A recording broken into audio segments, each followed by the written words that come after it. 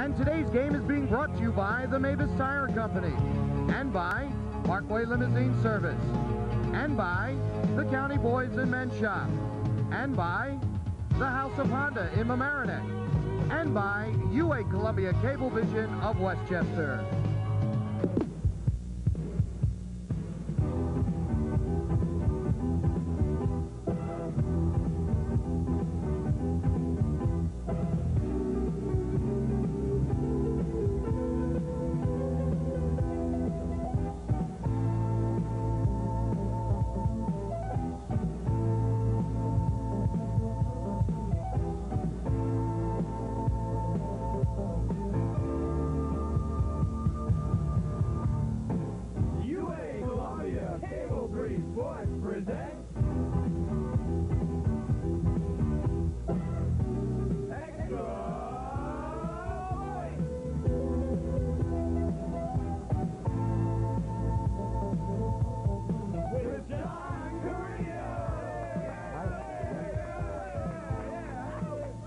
Welcome to another live edition of Extra Points here at Cable 3. I'm John Caridio, and for the next half hour, we are going to review and preview all of the action around Section 1. As always, we're going to take a look at the brand new top 10s, and I say brand new because over in the large school division, we've got a brand new number one and a brand new number two. We'll get to that a little later on. And of course, we've got the ever-popular play of the week, which comes to us this evening from Rye High School. And speaking of the Garnets, that is the major portion of tonight's program as we will review Rye's seventh win of the season, a 27 nothing whitewashing of the Eastchester Eagles. And in our studio tonight, we will have the head coach of the Rye Garnets, Dino Garr, and a gentleman who has the haircut of them all. We'll have in our studio our Cable 3 MVP, Sal Giglio, and that's all coming up. And of course, you can join us on the program by calling us at 235-5821. There it is right there, 235-5821. And we're looking forward to getting some good phone calls. Where do you see the haircut by Sal? You may want to know who does his hair. But as we get set for another edition of Extra Points, once again, Mother Nature played havoc with the football schedule around Section 1 this weekend. Most of the teams did, did get to play in the mud on Saturday, while others were postponed to either Monday or Sunday. As you will see, the weather may have created some havoc with the offensive plans of the coaches, but it did create some interesting games with some very surprising results. Come back with us now to those glorious days in the mud and mire as we take a look at all of the action on the Weeks in Review.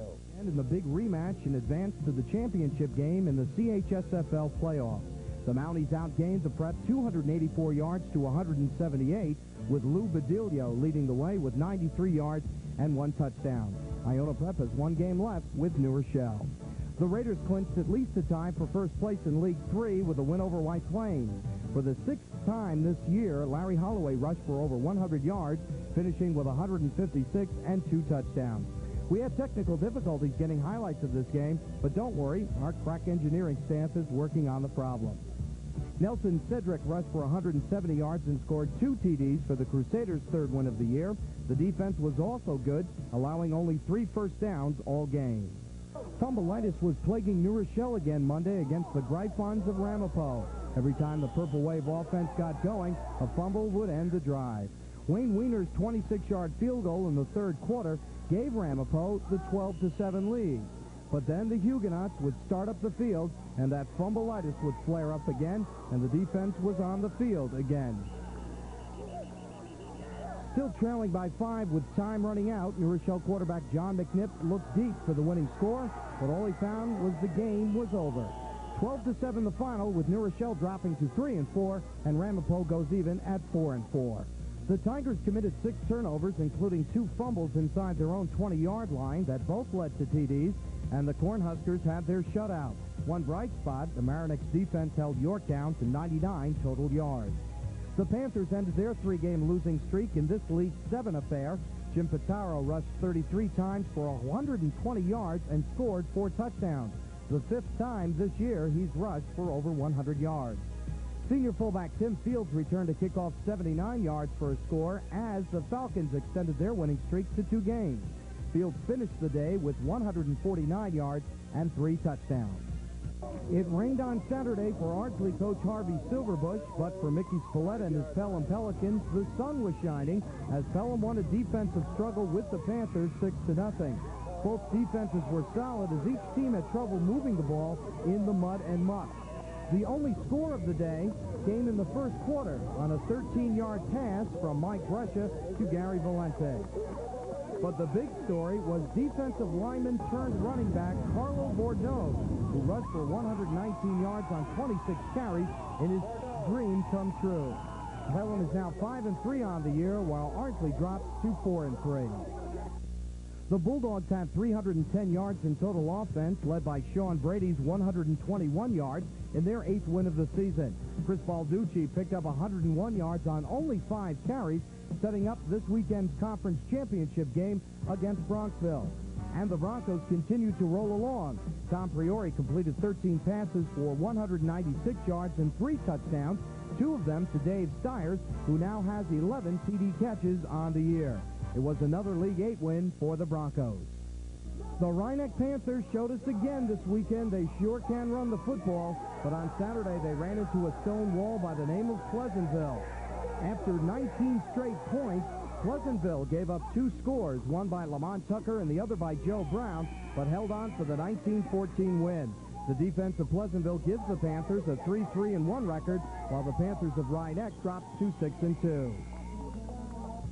The Tigers suffered their sixth straight defeat and their second shutout in a row in this League 9 meeting. Bears quarterback John Bernson completed four passes for 90 yards and two touchdowns in Briarcliff's fourth win of the year.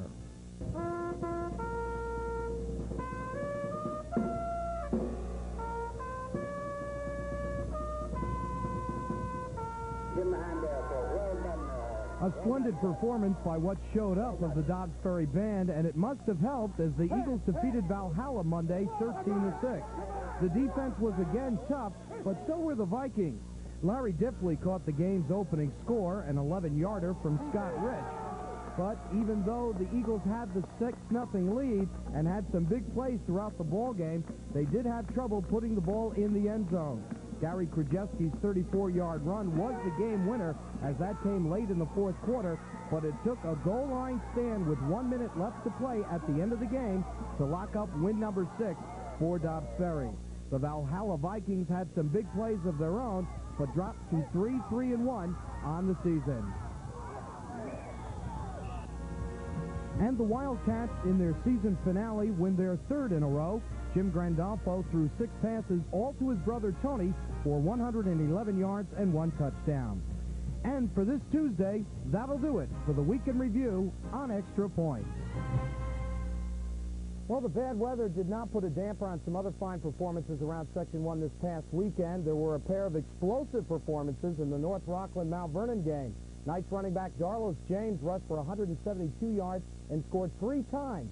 But Raiders quarterback Ted Cooney completed 13 passes for 148 yards and three touchdowns as North Rockland nipped Mount Vernon 28-27. John Jay Sean Scott upped his lead in the Section 1 scoring race with four TDs and 190 yards in the Indians' 27-7 win over Hendrick Hudson. Scott now has 19 touchdowns for 122 points. Two quarterbacks had fine throwing days this weekend. Lakeland QB Dave Goodwin was 22 of 37 for 279 yards, while Suffern QB Dan Munoz completed nine passes for 148 yards and three touchdowns, all of them coming in the first half of the Mounties' 23-0 win over Clarkstown South. And speaking of fine performances, do you know which team leads Section 1 in points allowed with 19 and also has the longest active winning streak in Section 1 at 18 straight? What was that? Did you say the Rye Garnets? You're absolutely right. And in just a moment after this short timeout, we'll meet Garnet's head coach Dino Garr, who is now a perfect 7-0 on Cable 3, and our player of the game, Sal Giglio, from the Garnet's 27-0 whitewashing of Eastchester. And you can join in the fun by calling now at 235-5821 when this live edition of Extra Points continues here at Cable 3 in just a moment.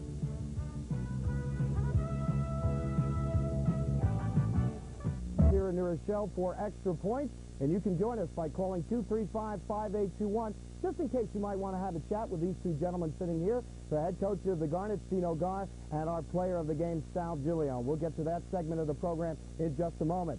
But as you know, in the eight games that Rye has played this season, five of them have been shutouts, making Rye the stingiest team in all of Section 1, allowing only 19 points all year long. And this past Saturday, the storyline was pretty much the same. Rye controls the football, made the defensive plays when they had to, and victory number seven was put in the books.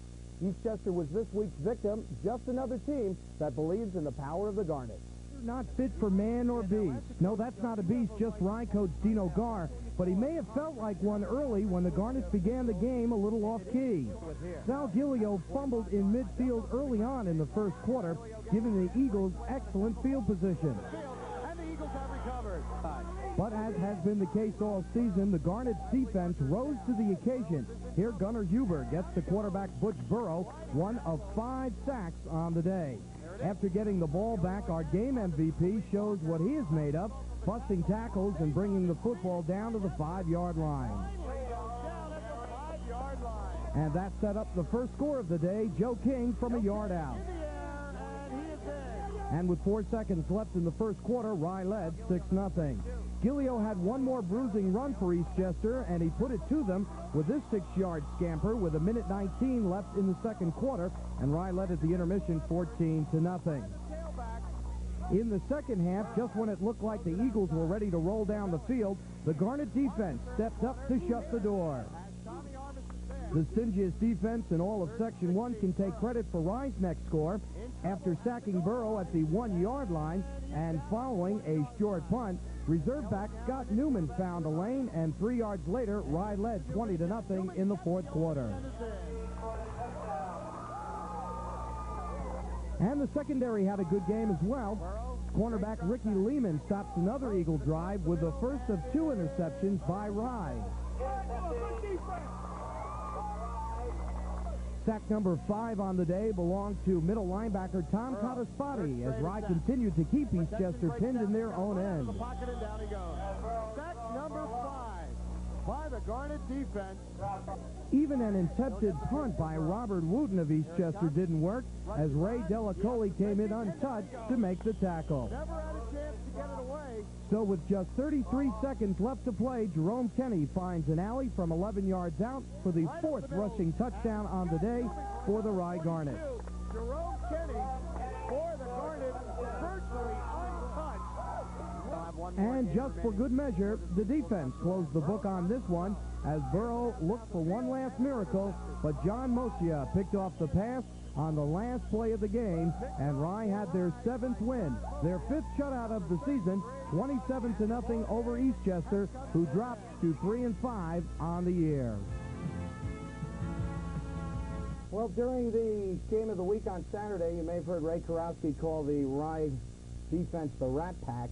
And if he did, here he is, the head cheese, Dino the head football coach at Rye High School. Thanks for coming by. I appreciate it. Appreciate it, John, too. Okay, uh, big ball game. Are you the Rat Pack? Well, well, whatever. Any Whatever kind of identity, as long as we keep doing what we're doing, I'll take it. what are you doing? Why is the defense so stingy? Well, I think a lot of good things. First of all, we have some great ball players. Uh, they've been together for a long time, and I think uh, it starts with them. But I, I think a lot of it has to go with uh, our coaching staff. I think Tommy Maloney and John Antonacci do a great job of preparing players for the team that we're going to play. And, um, and then the execution is out pretty much on, on the players out there, and they just do a real great job. I've always asked you when you thought the team had taken over your personality and when, when in effect the team becomes the head coach and vice versa. Has it happened? Uh, yeah, you've got a nice rapport between all of your coaching staff. That seems to be working nicely. Oh yeah, I think that's a very big plus, and, and you know, plus we have a lot of good people coming out, and turnout has been very good. I think there's personalities there. They know I'm emotional, and they let me go and rant and rave a little bit, and then we play football. Maybe you don't want the team to take your personality. Well, I don't know, a little bit, just a little bit. Just a little bit. Okay, sitting right next to him is our Cable 3 MVP. Are you ready for this? Can we throw this up on the air? How about that? What a hairdo from Sal our Cable 3 MVP. That, of course, because right now the team is in the midst of the week-long celebration getting set for the Ryan Oakland game on Saturday. Nice haircut, Sal. Thanks. Beautiful job. Thanks for getting it done before the Uh, show tonight. Um, we want to congratulate you on an excellent effort. Probably some of the, the best individual running that we've had on our game of the week all year long. I know Ray talked to you after the game was over about the uh, touchdown when you bruised off of a couple of tackles. How was it to run the football out there on Saturday? It looked pretty money and it looked pretty slick, huh? Well, it wasn't actually that slick because we were running on the grassy part of the field, and I was able to get good footing when I was running the ball. And I guess when um, the defensive players were running, they'd have to stop when I'd make a cut, and they'd just slide. And uh, I'd be, I was able to still run, keep Mhm. my feet. Let me ask you about uh, attitude, mental attitude of, of this year's team. You guys are undefeated again, like you were last year at this juncture of the season, going into the Harrison game. Guys feel pretty confident right now? Oh, definitely. We came into this season, um, you know, we had a 10-game, we knew we were going to go to a bowl game, and that was our objective. And we wanted to be 10 and 0. Right now, we have one tie, but 9 0 1 is going to be, a, you know, would make uh, the season worth it. It would. Oh, yeah. Well, we all know one win over Harrison and the season is complete. The bowl game's a little icing on the cake, but we will get into that a little later on. 235-5821 is our phone number, and as I mentioned, we are live this evening here on Extra Points on a Tuesday night, and we're ready to go to the phone. So let's do it. Go ahead. You're on Extra Points. Hello. Yes. Okay. Well, Mike Moore's, uh, we're going to have to get Mike off of the phone before anyone. Want to remind you that in just a couple of minutes, we'll have for you our play of the week. As a matter of fact, we're going to take you back up to Rye High School for a sensational catch in the rain, and we'll have that, of course, to look at the top 10 for both the large and the small schools. The large schools with a little resurgence among the top numbers. Let's go back to the phone. Go ahead. You're on extra points. Uh, hi, I have a question for Dino Garr. Okay. Uh, who would you rather play in the bowl game, Portchester or John Jay? That's good because I was going to ask you the same thing. Uh, who we'd rather play? Yeah. I don't know. There's a, it's, that's a tough question because last year we played John Jay, and uh, I, the reason why we'd probably uh, play John Jay again this year is because they'd be undefeated and we'd be undefeated, and it'd be for the number one ranking, I guess, there's some kind of dispute over there. Right. And I, you know, it's hard for me to understand how they're ranked ahead of us after we beat them last year. But Well, other than that, Make sure you're talking about the right poll here, pal, all right? we'll show you a little later but I on. think that the, a lot of the players, I know a lot of the players would like to play Portchester again because they, they did tie us this year, and we felt uh, that'd be a great game. Both games would be great games. There's something about you guys have never beaten Portchester. Rye's never beaten Portchester. I've only played them once. I Oh, you've only it. played 'em Yeah, I don't deal with what's happened in the past. I, you know, we tied them this year. We should have beaten them, I thought. And, uh, you know, so uh, it'd be a great game. John Jay would be a great game. Either matchup Yeah. for you. Okay. 235-5821 is our number on this live edition of Extra Points. Go ahead. You're on the air. Yeah, hi, John. Yeah. Uh, I'd first like, that, like to start out by saying uh, congratulations to Ryan their win and nice head, Sal. um, also, I'd like to know who you think is going to win the beer bowl this weekend between Irvington and Bronxville. The Beer Bowl. I haven't heard that one. Where'd that come from? I heard Budweiser is sponsoring that one. Oh, I, I, I get it now. Well, that's a possibility.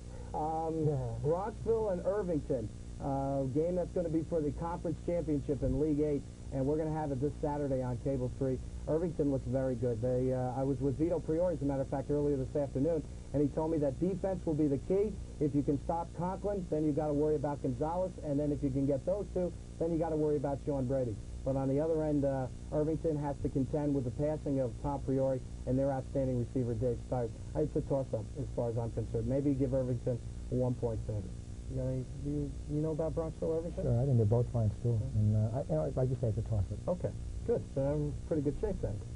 Put some money on it? No, no gamble. 235-5821 is the number. Go ahead. You're on extra points. Oh, Sal, congratulations on your game this week. You played really well. And uh, my question is, how are you going to prepare for such a big game against Harrison next week? Well, we have a lot of tradition, and you just have to get yourself prepared. There's no way you could, there's no um, special way you get prepared. I mean, it's just a tradition you grew up with all in football, going through the grades, you know, 9th, 10th. And uh, this is my second time getting my hair cut like this, so I've been down the road before. Definitely, with the wind, when you walk, when you're in the brook and it's freezing, you're really warm inside. Though. Yeah. You let me turn around and ask you the same thing. You played in a Rye Harrison game. I won't say when, um, but you've also coached uh, last year in, in the game that you won seven nothing. Has the intensity died down at all since you when you played? Not at all. Has it gotten better? You know, I, I, I think it's there, uh, better. You know, each class has its own uh, pride, and I think that that's the greatness about the game. I think, again, I think we're very fortunate, the players are, and, and myself, to be involved in such a great game, especially, you know, in, in what we're doing. It's a great game. Of course, for the for everybody who's not familiar about it, uh, the whole week is uh, is full of, of pep rallies and breakfasts and dinners. And, and I remember asking you this last year. Let me ask you again: Has is it does it take away from the preparation of the game itself? So it's the nuts and bolts of the practice. A little bit, Uh-huh. in a sense of, you know, the mental preparation that we'd like to put into it. But it also is a great part of the game, Mhm. and, and I would never trade anything for it uh, other than, than having what we have because uh, it gets not only the players involved, but the whole school and the community, and it just involves everybody. I think both schools uh, be proud of it. Uh, Sal, I want to ask you. I remember last year um, they had the uh, the team breakfast. Uh, the Friday before the game, we had Harrison uh, come on over. Everybody involved in the game came over. How would, how did you like that? Well, um, it really wasn't that special because, you know, you didn't really feel the intensity that I thought I would feel, but Uh-huh. perhaps this year is going to be different, hopefully. New 'Cause- crop. Yeah, definitely. Okay, 235-5821 is our phone number. We are live this evening here on Extra Points. Go ahead, you're on the air. Hey, John, Yeah. what's more funny than a barrel of monkeys? What's more fun than a Barrel Monkeys? Extra Points is more fun. No, no, you're wrong. What? Barrel's head. Okay. Oh, very good. 235-5821 is our number on this live edition of Extra Points. Coming up in just a couple of minutes, our Player of the Week and our brand new top 10s for this season. Don't forget that Rye will be taking on Harrison this coming Saturday, and that'll be over at the Harrison Junior High School. Game time's 1 p.m. I do believe. Okay. Let's go back to the phone. Go ahead. You're on the air. That's radio, you bad. Oh, I tell you, you know, we're trying to sit here. We've got to have made the effort to come down and answer some of your questions, and we got a bunch of bozo heads out there calling us. Let's cut it out. 235-5821 is the phone number, and we're live on Extra Points. We may not be live if this keeps up, I can tell you, and uh, we have to remember that we are fortunate, and we're very happy that we can get the coaches and the players to take out some time to join us for a half an hour, and you guys are just ruining it. All right? Enough said. Let's go back to the phone. Go ahead. You're on the air. Better be good. Um, I want to say Scarsdale Raiders are the best. That's it. you, you people aren't listening to me. Got a live audience. I don't know about that. Uh, they got one loss. I hate to point out to you, and there's a there's a large school up there that doesn't have a loss, but that question will be answered. Let's let's try again. Why not? We're on a roll now. We got another one. Let's go. Go ahead. You're on the air. Well, Mr. Gritty, Yes, sir. What do you think of the outcome of the game of Dobbs Ferry Valhalla would have been if we would have played them in the rain? Play them in the rain. The great equalizer. Um, I don't think it could have been much closer than it was now. 13 to 6 was the final. Um, Valhalla, I don't. I really don't see how Dobbs Ferry would have lost, except for that goal line stand that they had at the end of the game. Um, you may have a little trouble uh, justifying a Valhalla win in rain or mud. Um, but that brings up a good point because in your game, a lot of people thought that because it was raining and it was muddy, it could have been the great equalizer as far as Eastchester was concerned. On paper, the definite underdog in that game. Yeah. Well, I think it uh, helped them a little bit in some aspects. Uh, I mean, we like to throw the ball a bit more than we did. Uh, but in the long run, I think he did, Sal had a great game, and I think our players really responded well to the conditions. Sal, do you care what the field conditions are when you play? Oh, yeah, definitely. I'd like a dry field because it's easier to make cuts, and I'm basically a slash-type runner. Okay. Before we get out of here, um, just want to get a comment from you. What do you got to do to beat Harrison Saturday? Uh, got to score more points Okay. and keep them. That's why you're the head coach. but more importantly, I think we have to really control the ball game in terms of our offense, keeping the ball, and not giving them the big play. I think they have the capability of making some big plays, uh, either throwing the ball or running with it. They've got some good speed back. So we just can't give up the big play. Make them earn everything, and then I think defensively we just, you know, just have to make sure that doesn't happen to us. Okay, and Sal, um, for you, you got to play. Last year you played at home against them, beat them seven nothing. Any difference uh, playing them over there in their home field? Uh, sometimes, but basically we're both going to have uh, same amount of fans, so I don't think that's any different.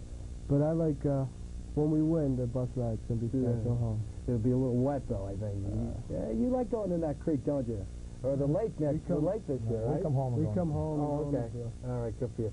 Thanks very much for coming on the show. Really appreciate it. pleasure. Great effort from you guys on Saturday, and we wish you the best of luck. And I'm, we're going to see you down at Memorial Field, it looks like. Hope you us more luck. Yeah, we'll try once again. Okay, our thanks once again to Dino Garr and Sal Giglio for being our guests on this edition of Extra Points. For those of you who called, shame on you. We'll give you another chance next week, see if we can do it a little better. All right, we're going to be back with the play of the week and our top tens right after this short break when Extra Points continues in just a moment.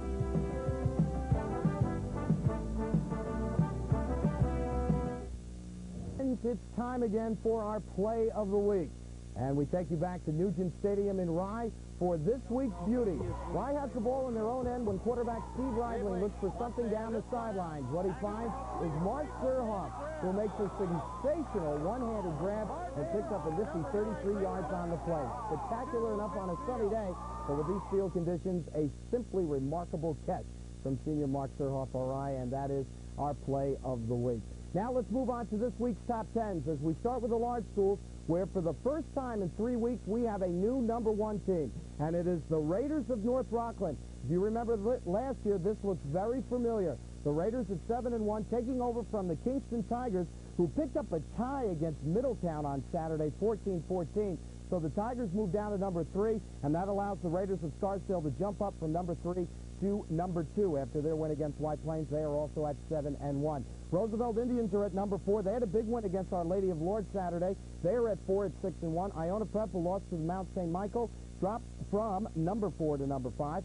Fox Lane is at six, Suffern at eight, White Plains at, or Suffern at seven, pardon me. White Plains is at eight, Mahopac is at number nine, and the Knights of Mount Vernon, who lost a one-point decision to our brand new number one team, they come in at number 10. So the Knights, for the second week in a row, make it into our top 10. Now we go over to the small schools. Not a lot of changes over there. For the sixth week in a row, the Garnets of Rye continue to hold on to the top spot, not like that other poll. And the Garnets at 7-0-1, followed by the Rams of Port Chester at number 2, also at 7-0-1. How about head coach Rich Albanese complaining about the paper poll? Is that something else?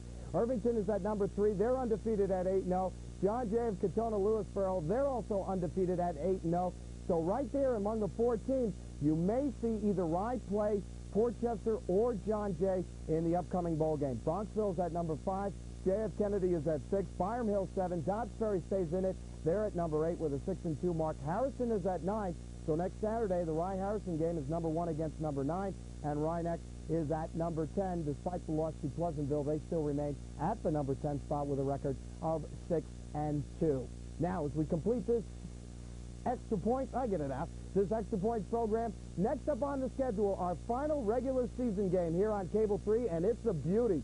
It is for the League 8 championship and will feature the number 5 Broncos of Bronxville at 7 and 1 on the season, and they'll be taking on the number 3 Bulldogs of Irvington, and they are undefeated at 8-0. And, of course, we'll have same-day coverage, as always, Saturday night at 8, Sunday morning at 10, and then again Tuesday night at 8 following extra points. So Bronxville at Irvington, our next game of the week coming up here at Cable 3. Don't forget, next week here on Extra Points, we will have for you the complete Section 1 bowl lineup, including who's playing who and who's playing who where and what time. Well, of course, all the games will be down at Memorial Field in Mount Vernon.